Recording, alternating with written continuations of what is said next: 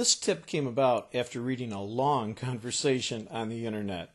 I hope this will help clear up the confusion. Often when there's only one datum reference on perpendicularity or parallelism, you can end up with an unstable tolerance zone.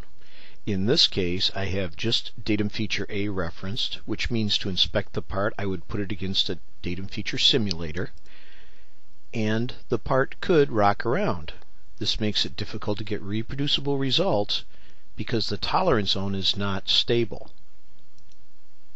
I can solve this problem by adding a secondary datum feature, but here's where the confusion comes in people look at B and say, wait a minute, B is parallel to the surface. It's not perpendicular.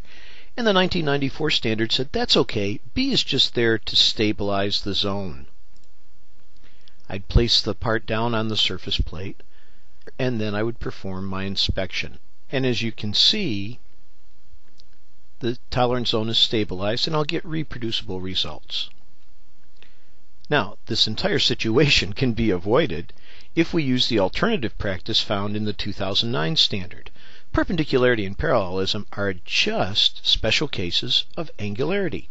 So in the revised standard, the 2009, we're told that we can use angularity even when we mean perpendicularity or parallelism. So now this should make the confusion go away.